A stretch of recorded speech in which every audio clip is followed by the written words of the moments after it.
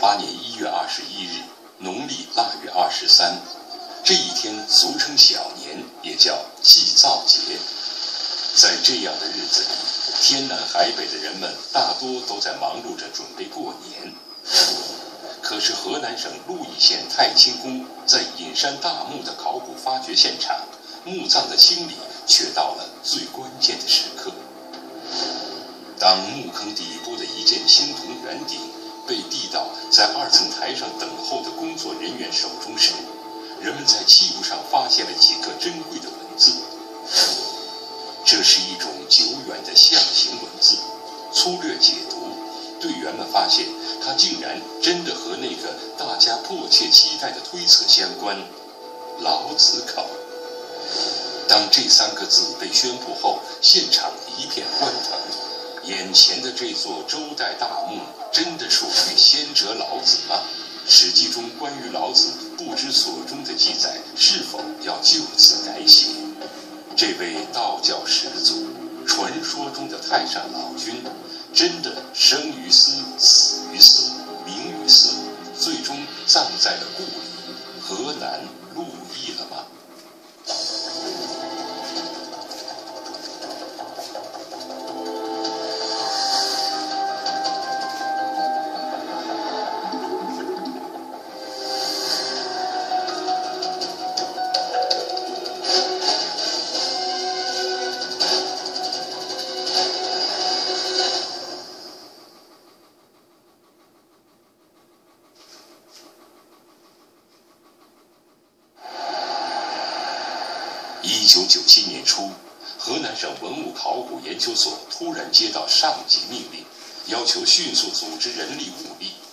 于周口市鹿邑县城郊的太清宫遗址群进行考古发掘。其实，在全国很多地方都有名叫太清宫的建筑，用来祭祀和供奉老子。至于说有什么不同，那就是鹿邑太清宫是许多古籍文献中记载的老子出生地，发掘的原因正和这个有关。嗯，最初是它是主要是随着老子故里的一款遗迹，就是说老子证明老子是鹿邑人。然而，这样一次普普通通的考古发掘，竟然引出了一个堪称神奇、完全属于意料之外的考古大发现。时任河南省文物考古研究所研究员的张志清被任命为此次发掘的领队。带队来到现场，他们很快遇到了第一个难题。《史记·老子韩非列传》中关于老子的记载，开篇就说：“老子者，楚苦县栗乡曲人里人也。”陆邑古称苦县。根据清光绪年间编纂的县志记载，因为出了老子，后来又改称真元、仙元。史料记载。唐朝时期，鹿邑太清宫规模宏大，层楼叠榭，整个建筑群占地多达数百亩。唐朝时期，他把太清宫作为是唐王的家庙，整个面积达到了八百七十二亩，楼台殿阁六百余间，所以非常的宏伟壮丽。遗留至今的清代建筑太极殿，墙壁上镶嵌的元代碑刻，也从侧面记录了太清宫的繁盛。太极殿前面有一个碑，元代的一个元代的一个执照碑，顶上明显的记载就是以太极殿方圆合适十里，这就是太清宫。太清宫的原来的规模，就是在这方圆十里之内的一切树木、一切土地都归这个太清宫庙。使用，这是皇帝元代皇帝发的一个执照。太清宫遗址。分前后二宫，前宫供奉老子，相距一公里的后宫供奉的是老子生母。由于唐代奉老子为始祖，高宗李治追封其为太上玄元皇帝，武则天更是尊老子的母亲为先天太后。正是因为有了这样特殊的身份，老子的道场才可以称之为宫，供奉老子的建筑称为殿，让历史上的太清宫古建筑群有了一种皇家宫殿的堂皇庄严。时光荏苒，曾经庄严肃穆的道教祖庭，在历经千年岁月的侵袭后。如今映入考古队员眼中的，却完全是一片熙熙攘攘的乡村街市。历史上鼎盛一时的太清宫古建筑群不见踪影，只剩下三座清代建筑零星的点缀在现代建筑之间，这给考古发掘带来了很多困难。太清宫那个中心区域。就是前面是民房，后边是这个镇政府，都在那个房子下面压着，可供发掘的地方非常小。在太清宫遗址进行发掘，面临的第一个难题竟然是拆迁。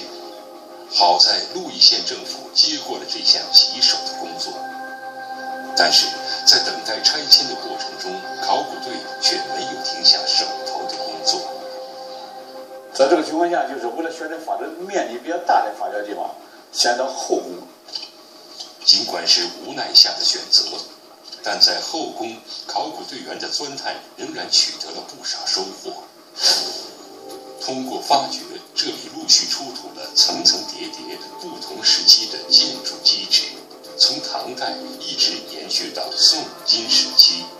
上面是金代的，那因为它可以层位不同嘛。下边是这个宋代的，更下边可能还有这个唐代的，但是那个因为唐代地势比较低嘛，好多有有降水了，呃，没有藏不清的话，就是有的就保留在地下了。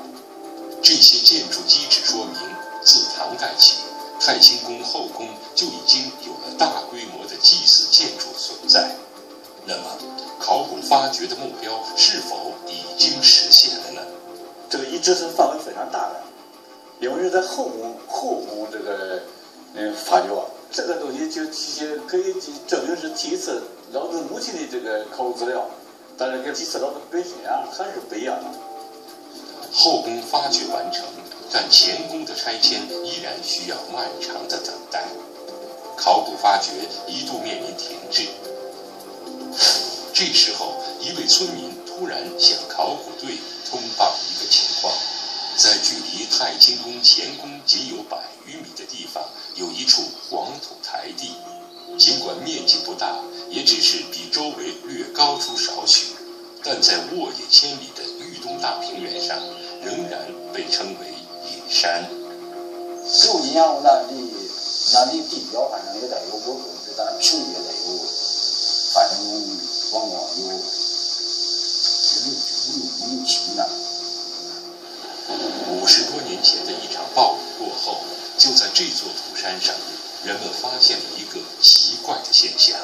他当时就是一下雨就冲出来，这个这个土层啊，就发现有个红线。红线是由雨水从土层中冲刷出的一些红色物质构成的。一开始，目睹这一情景的人们吓了。等到大家壮起胆子将红线源头挖开，却发现了一个存有朱砂的土坑。坑里边就是冲出来有些这个就发就就挖出来有些这个铜碗哎玉它叫玉石牌子，就三角形的那个。这个后边后边是长方形，前面一个尖儿，哎它咱叫玉石牌子，出土有这些东西。经验丰富的张志清立刻想到，所谓的玉石牌子应该就是玉圭。小铜碗则是祭祀用的青铜礼器，这样看来，土坑岂不恰好正是一处典型的祭祀坑吗？当时呢，我们就怀疑这个地方是不是祭祀老子的，因为他就捡这些东西，肯定是祭祀的。在鹿邑博物馆目睹了这批文物的张志清激动不已，因为从年代上分析，这批文物应该属于战国时期，正好略晚于老子生活的年代。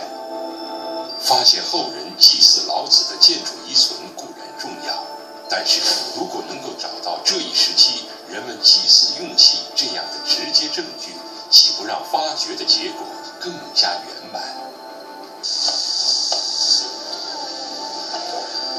一九九七年五月，太清宫遗址考古发掘工作队正式移师山，在这里展开了钻探。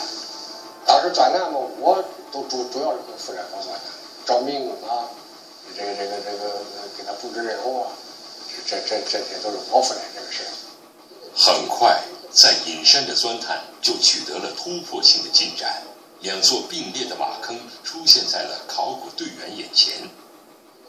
经过初步判断，马坑所处的年代明显接近于春秋时期，是两个四匹马吧？啊，就是就两两两就两两组，一组四匹。在祭祀中使用车马，早在商代殷墟遗址的考古发掘中就曾经出现过。到了西周以及后来的春秋战国时期。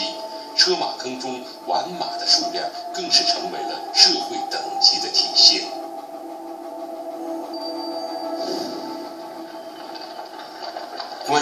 代驾驭的礼制，历来就有不同的说法。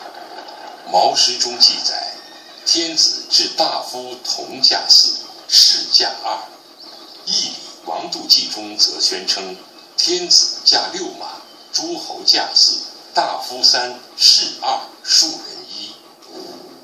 东汉时期《说文解字》的作者许慎支持后一种观点，而同一时期的经学大师郑玄则持反对意见。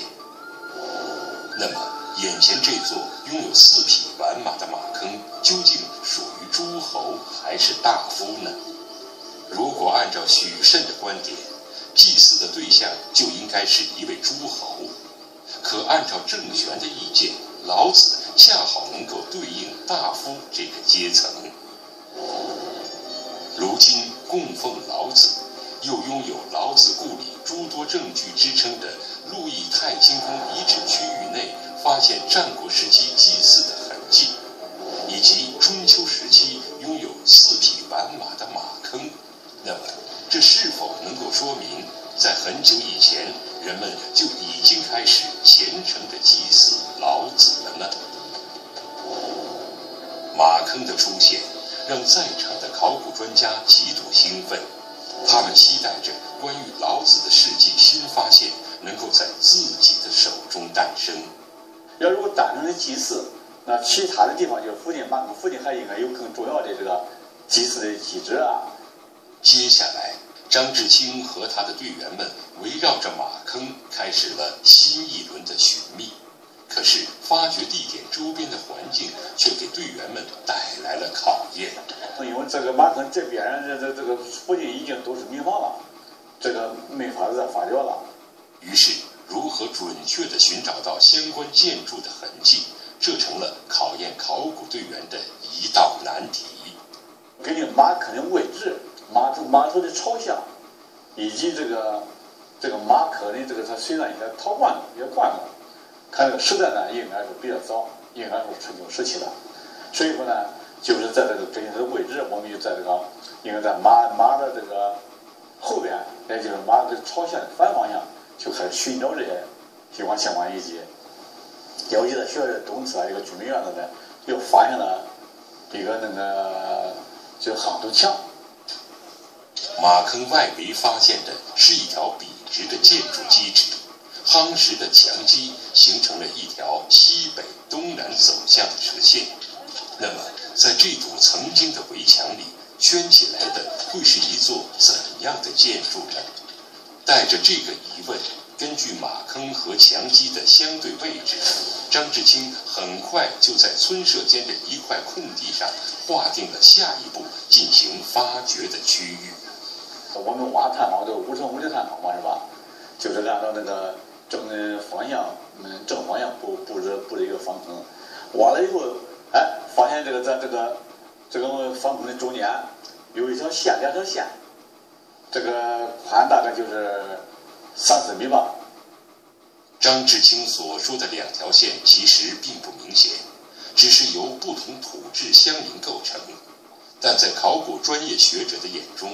没有扰动过的生土和挖掘翻动过的熟土泾渭分明，这两条线就代表着一座建筑遗址赫然出现了。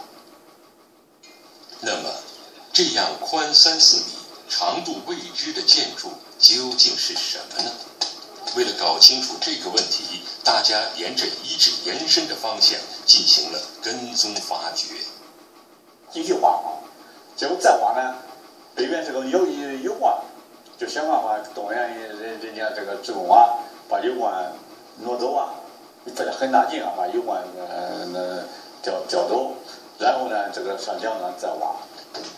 就这样，防挡拆防，误挡遗物，发掘持续向前。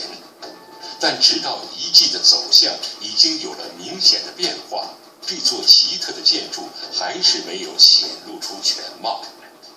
在挖探方这地下还是没有到头，已经很长了，已经说是有十几米了，还没到头。这时候，张志清开始对这个奇怪的建筑有了一种强烈的预感。为了证实自己的猜测。他专门致电时任河南省文物考古研究所所长的考古学家郝本兴，希望能够从他那里得到支持和指点。在这个发掘过程当中呢，就发现了一个呃比较长的一个水沟。这个我们这发掘的主持人呢，张志清就来找我，他说这个水沟啊奇怪，是一个矩形的，就是带拐弯的。我跟他说：“我说是不是底？你看看底部是不是一边深？如果一边浅，一边逐渐加深呢？这很可能是个墓道。从我的理理解来讲，它应该说跟这个墓葬有关，因为它不平平稳稳固的这个埋在那里。但是我没想到，我没想到墓道那么大那么长，想到就二一二十米就也就差不多了嘛。有墓道就意味着有墓葬。春秋时期的大型墓葬。”位置正处在老子故里后人祭祀和供奉老子的太清宫遗址范围内。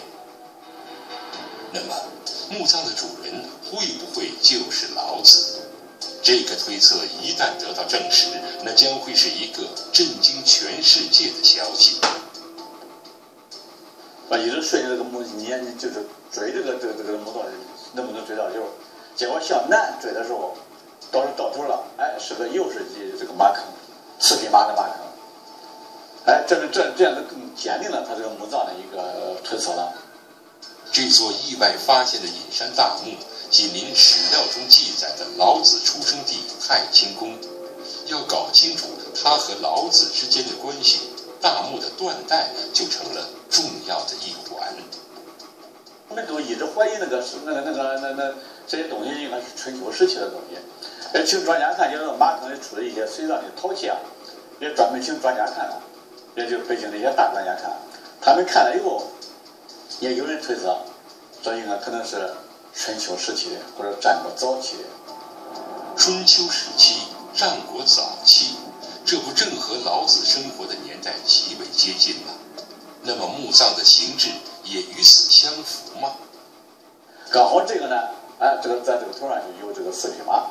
呃，我们想到这可能是个头，接着就往北侧再再继续追，这一直追追，哎，追追到大概追到五十米长的时候，追那个出现两个这个这个墓口，就就是墓墓墓墓道向两侧延伸了，就成一个，嗯，那就是等于说这个这这个墓道形状出来了，然后墓室的形状已经暴露，逐渐就暴露了。一般情况下，春秋时期的车马坑确实位于墓葬的一。侧或墓道的开口处，这正好和发掘现场的情况相吻合。那么，长度累计达到了五十米的墓道又意味着什么呢？把那墓道，你想原来挖墓道就是十几米，哎，三十米、二十米，五十米确实没没没有见到那长的。面对这样的超级大墓，考古队员们都激动万分，很兴奋。这兴奋还有点不可思议，因为当时我，这个是不是一个大墓啊？这怎么那么大啊？就现在这个太，这这这有点这太大了，因为这个地方也没什么文献记载，在文献记载这个地方并没有什么大量的墓葬。一九九七年九月，隐山大墓顶端的轮廓终于完全摸清，这是一个拥有两条斜坡墓道的中字形大墓。尽管墓道两端都被后期的建筑所打破，但残留下来的长度仍然达到了四十九点五米，墓室开口宽达七米。从隐山大墓的位置和年代来看，这座大墓极有可能就是老子的最终归宿。可这个结论却与文献记载完全矛盾，难道是《史记》出现了谬误吗？孔子，呃，说老子其有容心，龙焉，啊，其有容心，就是老子这个，就是按照《史记》里边儿写的，就是老孔子认为老子这个高深莫测，像龙一样。说老子是从东周的王朝的官员啊，掌管图书的官员，后来呢，他就，啊，这个退隐了。所以退隐之后这一段是怎么个情况？啊，我们现在这个就没有记载了。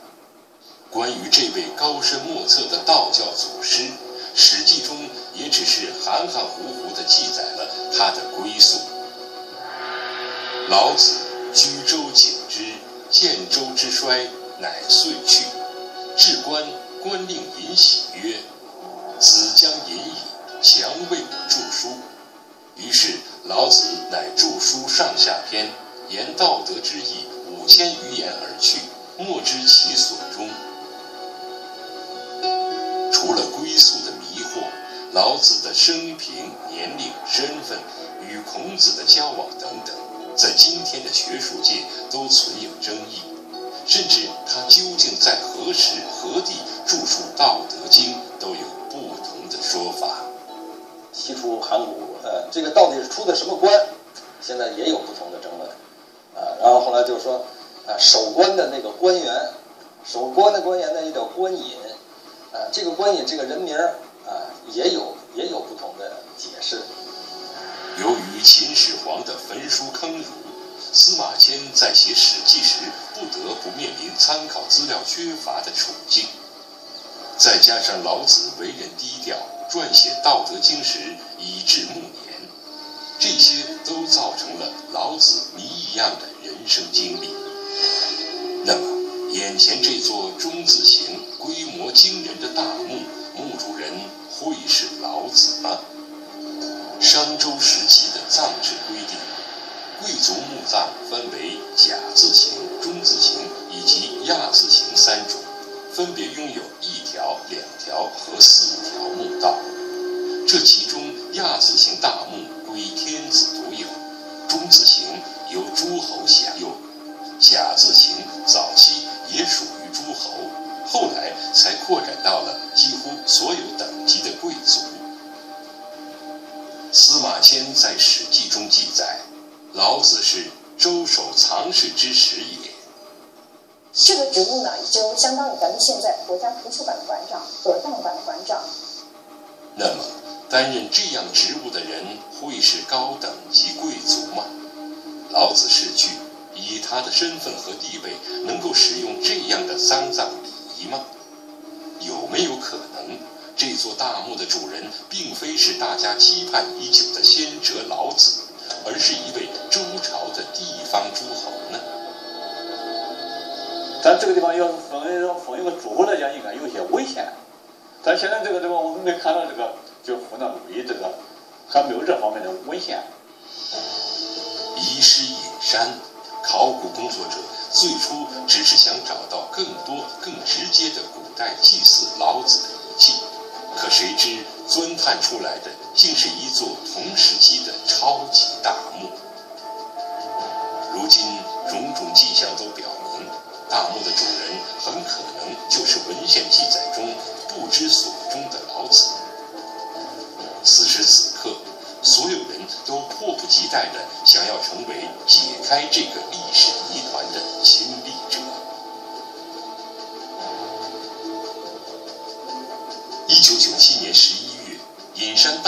发掘正式开始。但刚刚清理完地表的现代土层，一个意外的发现就给了所有人当头一棒。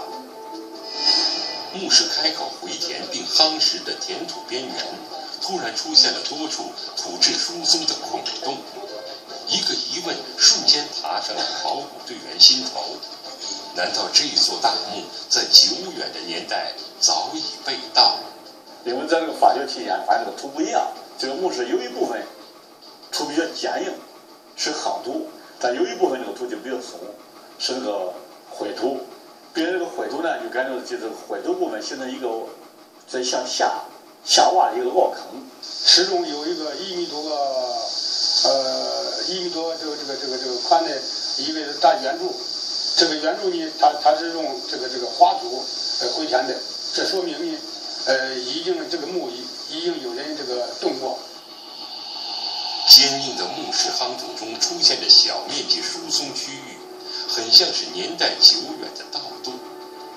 盗墓者打穿夯土直抵墓室，得手后为了掩盖，又用土回填了盗洞，于是留下了土质差异。说当时大家怀疑这坏了，这墓内那和墓又被盗了，因为那个凹坑还是比较大的，当时感感觉是。有盗洞，盗洞的开口还不小。更令人沮丧的是，同样的现象还远不止一处。接下来，队员们在墓室开口的四个角落都发现了类似的痕迹。考古发掘最让人痛恨的就是盗墓。盗墓不仅盗走了墓葬中的珍贵文物，而且对墓葬建筑本身往往也构成了极大破坏。湮灭了宝贵的历史信息，使旷日持久的考古发掘徒劳无功。随着盗洞的出现，隐山大墓发掘现场一片哗然。发现了多处盗洞，专家心里很担心，很害怕这个墓被盗。你看那么大个洞，坏了，这个墓是不是是不是个恐怖？盗墓是一种非常古老的罪恶，它几乎贯穿了整个中国历史。许多古代大墓中原本丰富的信息，就在这样一次次的劫掠中损失殆尽。位于陕西宝鸡的秦景公大墓，是迄今为止中国发掘的最大古墓。从1976年开始，整整发掘了十年之久。可是这座超级大墓历史上曾多次被盗，盗洞总数竟然超过了两百个。原本规模庞大的墓室，经过这样蚂蚁搬家式的盗扰，几乎被洗劫一空，给辛勤忙碌了十年之久的考古工作者留下了毕生的遗憾。同样在河南，1992年，永城芒砀山惊现面积超过1600平方米，堪称史上最大的超级石质崖式墓。可是这座西汉梁孝王王后的陵墓，尽管有厚厚的山体和三千多块巨大的墓道塞石保护，仍然被多次盗穿。先来的盗墓贼盗光了文，来晚了的因为没能挖到宝贝，为了泄愤，竟然砸毁了墓室石壁上大量的装饰物。如今，深藏在太清宫遗址废墟下的隐山大墓，同样险景堪忧。厚厚的夯土层下，会不会延续景公大墓和梁孝王王后墓的悲哀呢？不论结果，考古发掘仍在继续，只不过热火朝天的劳动场面变得有些沉闷。大家都在怀疑这个墓葬已经盗空以后，没有啥信息啊。由于面积太大，墓室的发掘进展缓慢，一米、两米、三米，直到1997年即将成为历史时，发掘现场终于传来了好消息。三四米吧，三米多。不是那个土是一直是松的，像仰凹，它凹的不多情况，也就是是比这个中间的稍凹一些，但是一直凹的这这个就是一直跟这个两跟那不一样的，有有有三米多好像是。墓室中的填土在挖掘到三米多深时，灰土凹坑突然到了底。盗墓没能打穿，墓室有可能保存完好。这样振奋人心的消息一经传出，现场参与发掘的人们禁不住欢呼雀跃起来。可是，在张志清的内心深处，这时候还留着一个大大的问号。这个盗洞问题啊，一直是这个困扰大家，一直到这个发掘，最后最后发掘到底也都没有这个大家鉴定的时候没有盗洞，哎，没有问题。盗洞已经见了底，张志清还在顾虑些什么呢？原来结构松散的灰土凹坑虽然不见了，但同时消失的是坚硬的墓室夯土，在距离地面四米左右的区域。所有的填土都变得均匀疏松，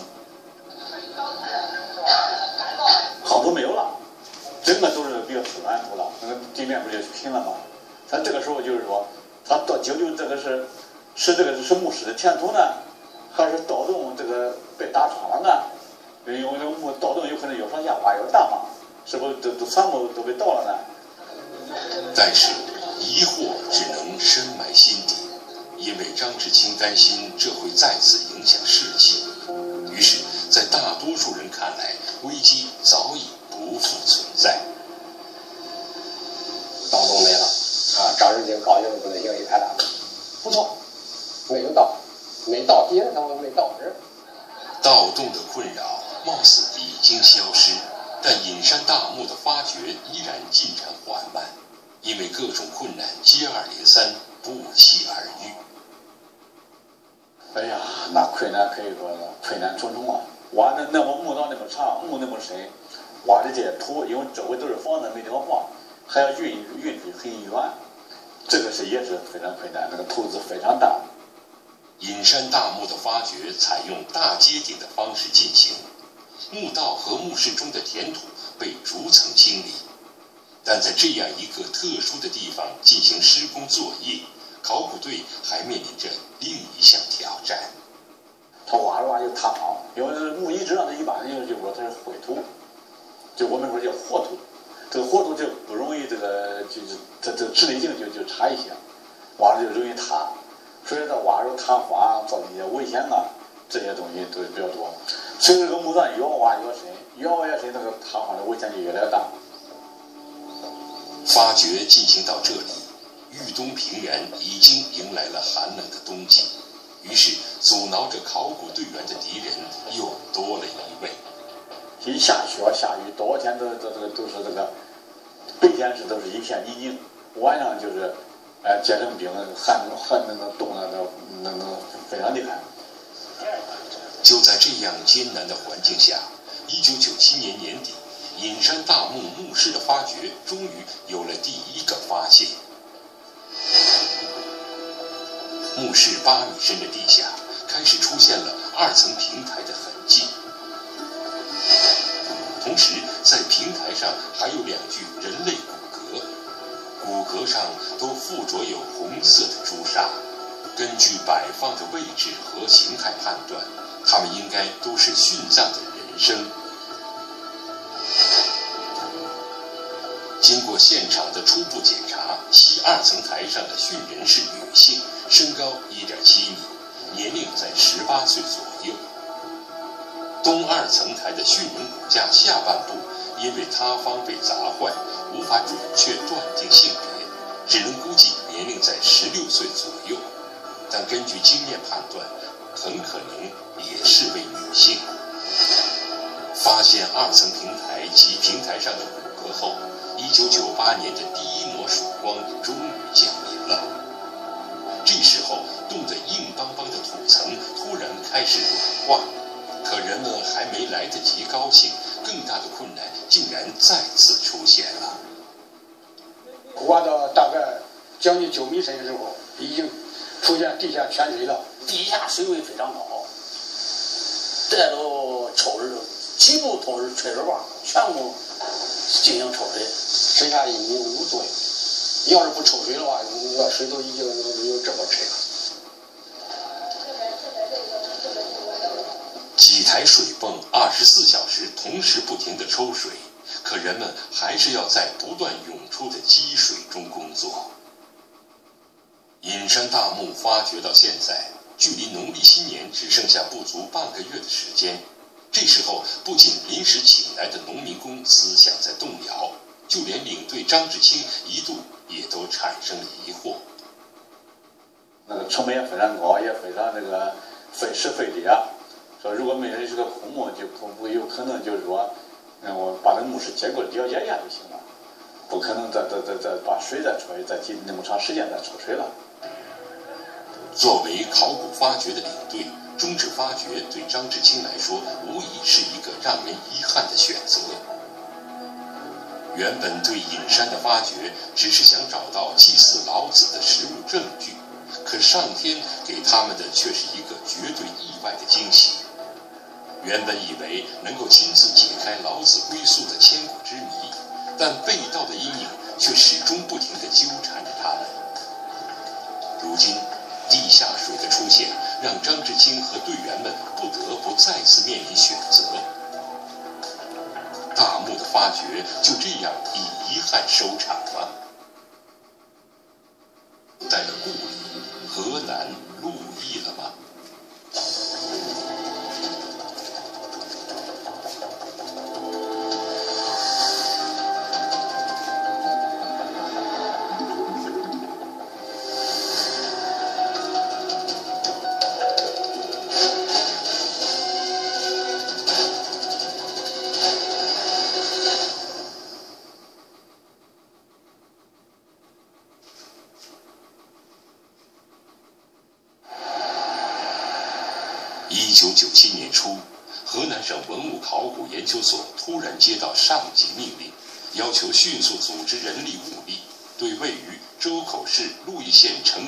太清宫遗址群进行考古发掘。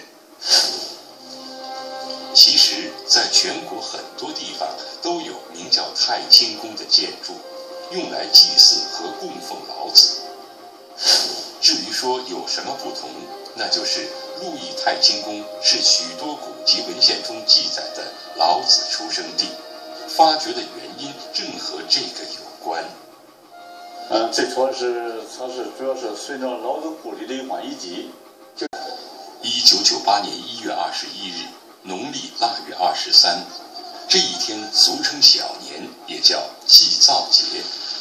在这样的日子里，天南海北的人们大多都在忙碌着准备过年。可是河南省鹿邑县太清宫在隐山大墓的考古发掘现场，墓葬的清理却到了最关键的时刻。当墓坑底部的一件青铜圆鼎被递到在二层台上等候的工作人员手中时，人们在器物上发现了几个珍贵的文字。这是一种久远的象形文字。粗略解读，队员们发现它竟然真的和那个大家迫切期待的推测相关——老子口。当这三个字被宣布后，现场一片欢腾。眼前的这座周代大墓，真的属于先哲老子吗？史记中关于老子不知所终的记载，是否要就此改写？这位道教始祖，传说中的太上老君，真的生于斯，死于斯，名于斯，最终葬。所以非常的宏伟壮丽。遗留至今的清代建筑太极殿，墙壁上镶嵌的元代碑刻，也从侧面记录了太清宫的繁盛。太极殿前面有一个碑，元代的一个元代的一个执照碑。当上明显的记载就是以太极殿方圆合适十里，这就是太清宫太清宫的原来的规模，就是在这方圆十里之内的一切树木、一切土地都归这个太清宫庙使用。这是皇帝元代皇帝发的一个执照。太清宫遗址分前后二宫，前宫供奉老子。相距一公里的后宫供奉的是老子生母。由于唐代奉老子为始祖，高宗李治追封其为太上玄元皇帝，武则天更是尊老子的母亲为先天太后。正是因为有了这样特殊的身份，老子的道场才可以称之为宫，供奉老子的建筑称为殿，让历史上的太清宫古建筑群有了一种皇。就说老子证明老子是路易人。然而，这样一次普普通通的考古发掘，竟然引出了一个堪称神奇、完全属于意料之外的考古大发现。时任河南省文物考古研究所研究员的张志清被任命为此次发掘的领队。带队来到现场，他们很快遇到了第一个难题。《史记·老子韩非列传》中关于老子的记载，开篇就说：“老子者，楚苦县栗乡曲仁里人也。”陆邑古称苦县。根据清光绪年间编纂的县志记载，因为出了老子，后来又改称贞元、仙元。史料记载。唐朝时期，路易太清宫规模宏大，层楼叠榭，整个建筑群占地多达数百亩。唐朝时期，他把太清宫作为是唐王的家庙，整个面积达到了八百七十二亩，楼台殿阁六百余间。家宫殿的堂皇庄严，时光荏苒，曾经庄严肃穆的道教祖庭，在历经千年岁月的侵袭后。如今映入考古队员眼中的，却完全是一片熙熙攘攘的乡村街市。历史上鼎盛一时的太清宫古建筑群不见踪影，只剩下三座清代建筑零星的点缀在现代建筑之间，这给考古发掘带来了很多困难。太清宫那个中心区域。就是前面是民房，后边是这个镇政府，都在那个房子下面压着，可供发掘的地方非常小。在太清宫遗址进行发掘，面临的第一个难题竟然是拆迁。好在鹿邑县政府接过了这项棘手的工作，但是在等待拆迁的过程中，考古队却没有停下手头的工作。在这个情况下，就是为了选择发掘面积比较大的发掘地方，选择后宫。尽管是无奈下的选择，但在。